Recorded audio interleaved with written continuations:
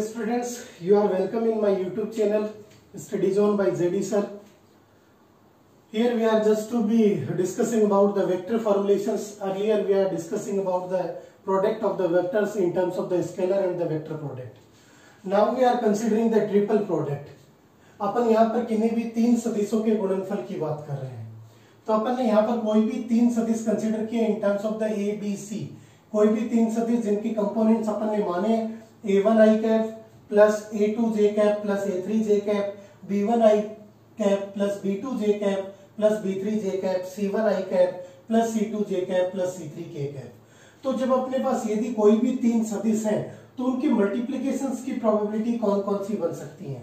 और भी बन सकती है but here we are just to be considering the few properties to understand the basic concept कि सबसे पहले आपने बी डॉट सी मतलब बी और सी को क्या क्या किया आपने? अदिश गुणनफल किया डॉट प्रोडक्ट किया और उसको सिंपली किसके साथ गुणा किया? ए के साथ।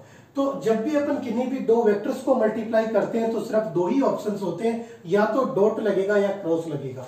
इसका मतलब फ़र्स्ट केस में यहाँ पर बीच में कोई भी साइन नहीं है।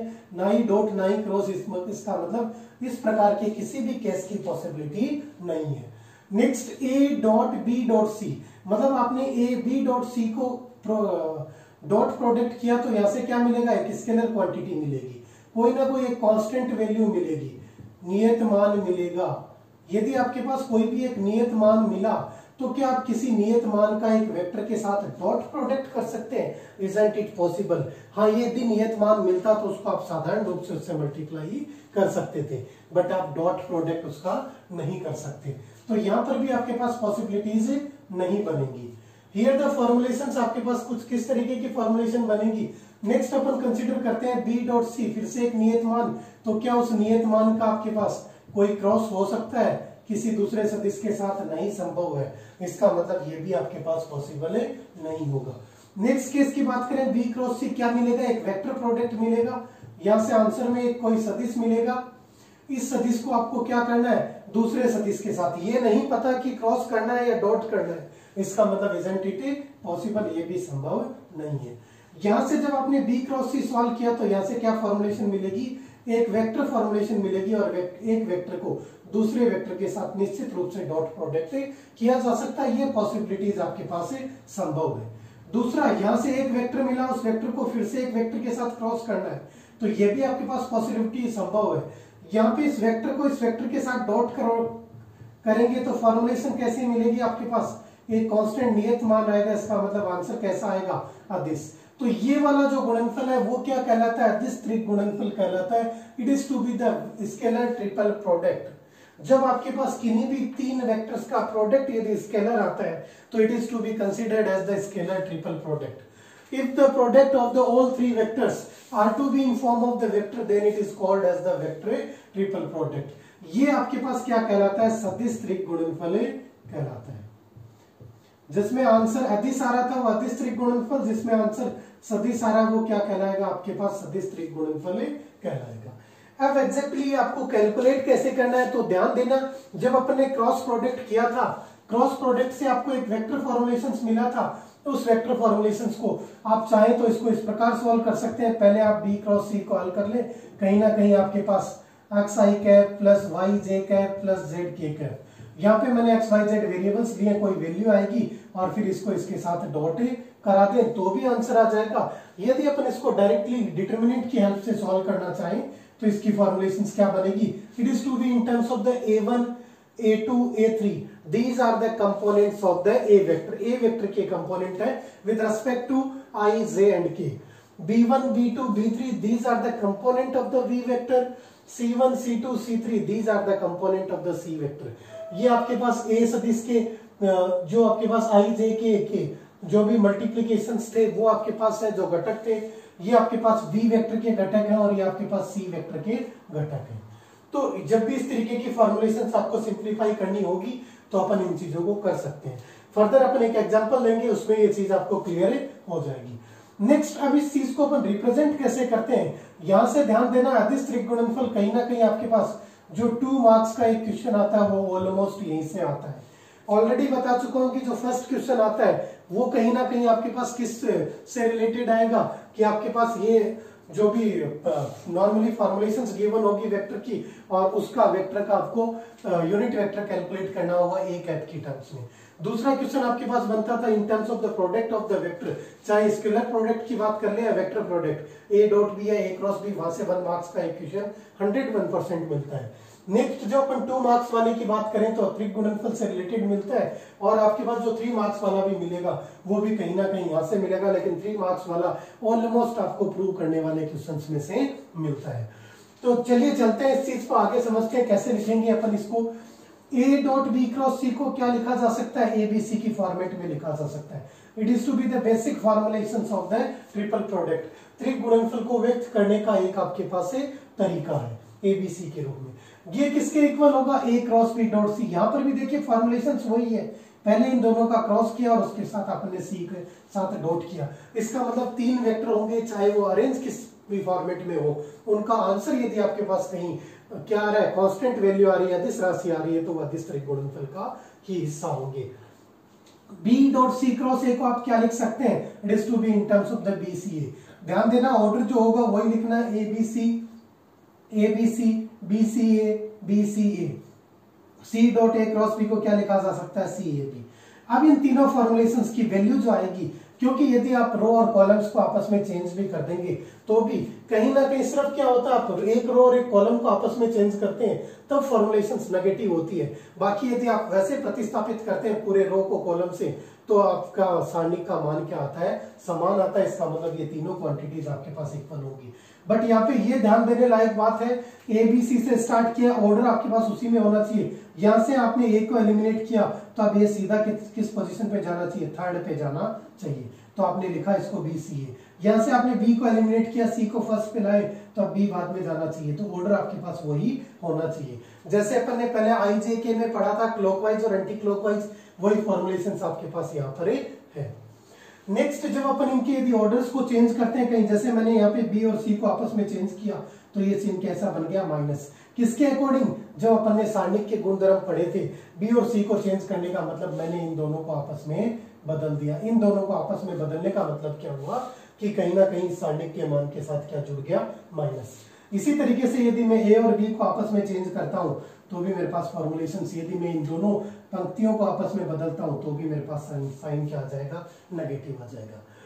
इंपॉर्टेंट चीज़ देखिए, क्या फॉर्मुलेशन बनेगा? ए ए बी या फिर ए बी बी या फिर ए सी सी या सी सी ए इसका मतलब जब भी कहीं ट्रिपल प्रोडक्ट्स में कोई भी दो वेक्टर आपके पास सेम आ जाते हैं तो उनकी फॉर्मुलेशन आपके पास कैसी बनेगी? Is to be equal to zero इसका मतलब किन्हीं भी दो समांतर, दिए गए तीन सदिशों में से कोई दो सदिश आपके पास समांतर है तो उनका जो आपके पास त्रिक गुणनफल होगा, कौन सा अधिस त्रिक गुणनफल वो हमेशा किसके बराबर होगा? ज़ीरो के बराबर होगा। या फिर अपन समान सदिशों के लिए बोल सकते हैं या समांतर के लिए बोल सकते हैं। फॉर्मुलेशन आपके पास वही फॉर्मुलेशन क्योंकि जब भी अपन क्रॉस प्रोडक्ट करेंगे तो यहाँ से ए ए होते आपको पता है दो रोज क्या बन जाएगी सेम और जब दो पंक्तियाँ या दो आयु आपके पास, जिनके गुणांक, जिनके संख्यात्मक मान समान है तो उनका सारणिक का मान क्या बनेगा? ज़ीरो बनेगा। इसलिए इसकी वैल्यूज़ अपन क्या करेंगे? इक्वल टू ज़ीरो की फॉर्म में ले जाएँगे। ये तो रहा इसका बेसिक्स यहाँ से कई बार आपके प्रूव करने वाले क्वेश्चंस में यूज़ आएगा तो थ्री मार्क्स वाला क्वेश्चंस ऑलमोस्ट कहीं ना कहीं यहीं से बनता है। इसके बारे में थोड़ा सा ध्यान रखना। अब उससे रिलेटेड कई बार आपको जो लेंदी क्वेश्चंस मिलते हैं, वो क्वेश्चंस किस फॉर्मेट में पूछे जाएँगे। वापस वही चीज़ें जब मैंने डिटर्मिनेंट पढ़ाया था, तब भी अपन ने डिस्कस किया था। क्रॉस प्रोडक्ट में भी डॉट प्रोडक्ट में भी अपन ने डिस्कस किया है कि कहीं ना कहीं आपको क्या फॉर्मुलेशन पूछी जाती है, कि दिए गए बिंदु समरेख है, त्रिभुज का क्षेत्रफल क्या होगा, यहाँ पर किससे जुड़ा हुआ आ जाएगा, आयतन से रिलेटेड तो अपन आकृतियों की बात कर रहे हैं, क्योंकि आपके पास तीन है तीन सदिश उनको जोड़ेंगे तो कोई ना कोई आपके पास आकृति कैसी बनेगी? चतुष्फलक की तो उस चतुष्फलक का आयतन कितना होगा? एक बटे छह एबीसी एबीसी एग्जैक्टली किसको बता रहा है? A dot B cross A C को बता रहा है। ये किसको बता रहा है? आपके पास अतिस्त्रिक गुणनफल को बता रहा है। इसके संख्यात्मक मान को छह से भाग दे देंगे। तो आपके पास क्या आ जाएगा? चतुष्फलक का आयतन आ जाएगा। इसी प्रकार जब अपन सठफलक के आयतन की बात करेंगे तो भी आपके पास फॉर्मुलेशन क्या होगा? देखिए चतुष्फलक का आयतन का जो सूत्र था वही यहाँ पर रहेगा। सिर्फ़ क्या परिवर्तन आ जाएगा? वन बाई सिक्स हट जाएगा। इसका मतलब यदि आप ट्रिपल प्रोडक्ट एबीसी को सॉल्व करते हैं तो आपके पास ये किसके इक्वल आएगा? आपके पास सठफलक के आयतन के बराबर आ जाएगा। तो क्वेश्चन में बस ये ध्यान रखना है कि दी गई आकृति किस प्रकार की है। थर्ड देखिए, आपके पास समतलीय होने की शर्त। इसका मतलब कहीं भी आपके पास अभी तक अपन किसकी बात कर रहे थे? कोलिनियर की बात कर रहे थे। यहाँ पर किसकी बात आ गई? कोप्लेनर्स की बात आ गई। कोप्लेनर्स का मतलब वो किसी एक ही तल में मतलब दिए गए बिंदु एक ही तल में है या नहीं है। तो यदि आपको कहीं वेक्टर्स देकर डायरेक्टली पूछता है कि दिए गए तीन सदिश समतलीय है या नहीं तो आपको क्या करना है? उनका स्केलर ट्रिपल प्रोडक्ट उनका अदिश गुणनफल ज्ञात कर लेना है। यदि वो शून्य आता है तो इसका मतलब वो समतलीय है। यदि वो शून्य नहीं आता तो वो समतलीय नहीं है। बट सवाल में कोई ज़रूरी नहीं कि तीन सदिश हो। उनकी जगह आपको चार बिंदु दे देगा कि बताइए कि दिए गए चारों बिंदु समतलीय है या नहीं। तो जब चारों बिंदु आपके पास समतलीय है या नहीं, कुछ फॉर्मुलेशन के लिए अपन क्या करेंगे? फिर वही फॉर्मुलेशन बस इंपॉर्टेंट ये है, जैसा अपन ने त्रिभुज के क्षेत्रफल में भी देखा था कि we are just to be started with same point आप एक ही बिंदु से स्टार्ट करते थे ए बी क्रॉस ए सी ये नहीं करते थे A B cross B C तो यहाँ पर भी यही ध्यान रखना है कि यदि आपने चार बिंदुओं को इस प्रकार इंगित किया, ये बिंदु ए ये बिंदु बी ये सी और ये डी तो अब आपको क्या फॉर्मुलेशन करना है जो ट्रिपल प्रोडक्ट पहले किसको कैलकुलेट करना है? ए बी इस वाले को फिर किसको कैलकुलेट करना है? ए सी इस वाले को फिर किसको कैलकुलेट करना है? ए डी ये नहीं कि ए बी फिर दूसरा आपने बी सी ले लिया, फिर आपने सी डी ले लिया। आपको यही फॉर्मुलेशन रखनी है। इन, इनका जो ट्रिपल प्रोडक्ट आएगा, वो किसके इक्वल होगा? ज़ीरो के इक्वल तो ये आपके पास कैसे होंगे? कोलिनियर होंगे। कैसे होंगे? समतलीय होंगे। अब देखिए ट्रिपल प्रोडक्ट अपन कैलकुलेट कैसे करेंगे? उस चीज़ पे अपन और चलते हैं। पहले बेसिक सा छोटा सा फॉर्मुलेशन ट्रिपल वेक्टर प्रोडक्ट और देख लेते हैं अपने पास सतीश त्रिगुणनफल फॉर्मुलेशन कैसी बनेगी? ये हालाँकि यहाँ से क्वेश्चन एग्ज़ाम में नहीं बनते हैं। किस तरीके से बनेंगे? वो अपन चेक कर लेते हैं। सदिश त्रिगुणनफल एग्जैक्ट फॉर्मुलेशन क्या बनती थी आपके पास? A cross B cross C यही फॉर्मुलेशन थी। तो जब अपन यहाँ पे इसको सिंप्लीफाई करेंगे तो आपको पता है बी क्रॉस सी अपन कैलकुलेट कर सकते हैं किसकी हेल्प से। तो पहले अपन किसको सॉल्व करेंगे? बी क्रॉस सी को। किस फॉर्मेट में आई जे और के क्या फॉर्मुलेशन मिलेगा? B one B two B three C one C two C three इसको सिंप्लीफाई करेंगे, कोई ना कोई आंसर मिलेगा और फिर उससे किसके साथ वेक्टर प्रोडक्ट कर देंगे? यदि इसको मैं डी अज्यूम कर लू तो ये फॉर्मुलेशन आ जाएगा। फिर इसको अगेन सिंप्लीफाई करेंगे आई जे के इधर क्या आ जाएगा? A one A two A three और इधर इनका जो रिजल्टेंट था in terms of the D one D two D three यहाँ से क्वेश्चन ये इंपॉर्टेंट इसलिए नहीं है क्योंकि यदि कोई क्वेश्चन बनेगा तो सीधा सीधा ये क्वेश्चन बनता है कि तीन सदिश दे देगा और फिर पूछ लेगा कि इन तीनों का vector triple product find out करो। तो यदि आपको वेक्टर प्रोडक्ट्स आते हैं तो आप इजीली इनको सिंप्लीफाई कर सकते हैं। अब चलिए अपन त्रिक गुणनफल से रिलेटेड कुछ क्वेश्चंस की बात कर लेते हैं, जो न्यूमेरिकल्स किस तरीके के आपके पास बनते हैं। इंपॉर्टेंट क्वेश्चंस के लिए अपन नेक्स्ट वीडियो में भी अपन इन चीज़ों को डिस्कस करेंगे जो प्रीवियस ईयर्स के एग्जामिनेशन के जो क्वेश्चन आए हुए हैं, उनकी अपन बातें करेंगे। सबसे पहले अपन कोई भी एक एग्ज़ाम्पल ले लेते हैं। ए वेक्टर आपको गिवन है। Two I vector plus three J cap plus four K cap इसी तरीके से आपको नेक्स्ट बी वेक्टर फॉर्मुलेशन में गिवन हो सकता है। बी वेक्टर क्या गिवन है आपके पास? आई माइनस जे माइनस के इसी तरीके से अपन ने सपोज़ किया सी वेक्टर आपके पास गिवन है। Minus I plus J minus two K अब आपके पास फॉर्मुलेशन क्या पूछा जा सकता है? आपसे पूछा जा सकता है ए बी सी कितना होगा? इसका मतलब ए बी सी का ट्रिपल प्रोडक्ट कितना होगा?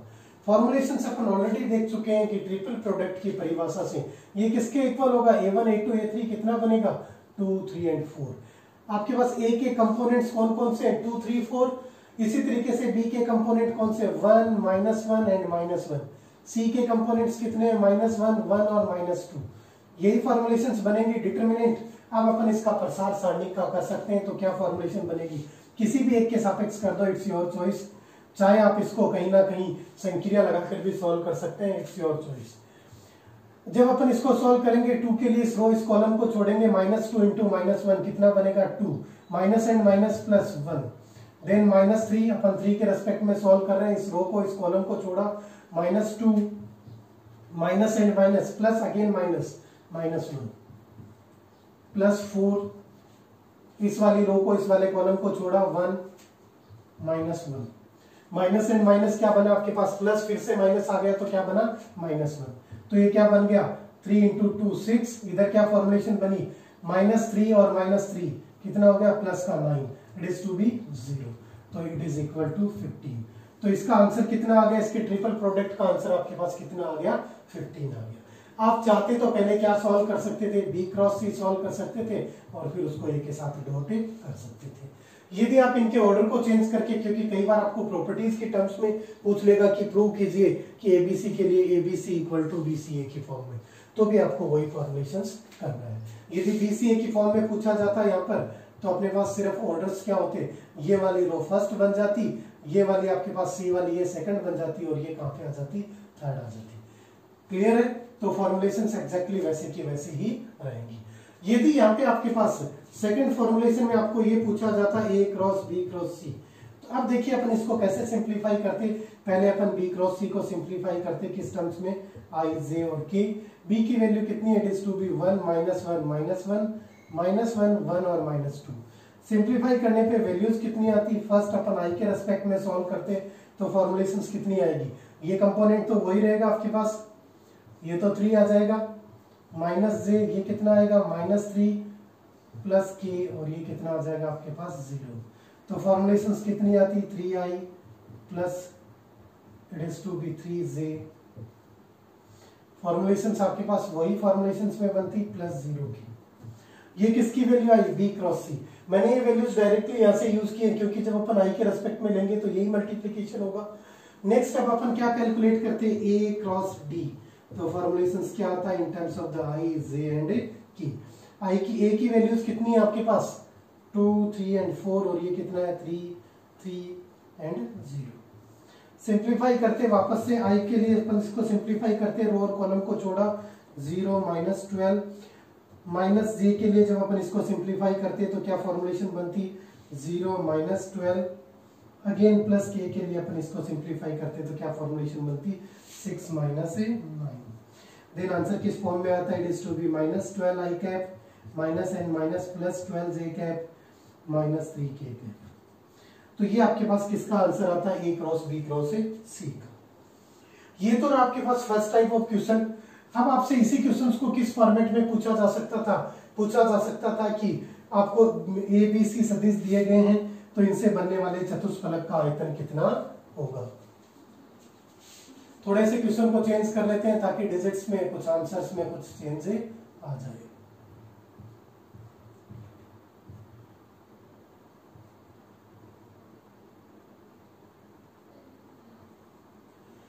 चलिए, अब आपको कैलकुलेट करना है वॉल्यूम आयतन की बात कर रहे हैं, किसके? दोनों ही आयतन अपन कैलकुलेट कर लेते हैं। एक तो किसका अपन ने देखा था? चतुष्फलक का।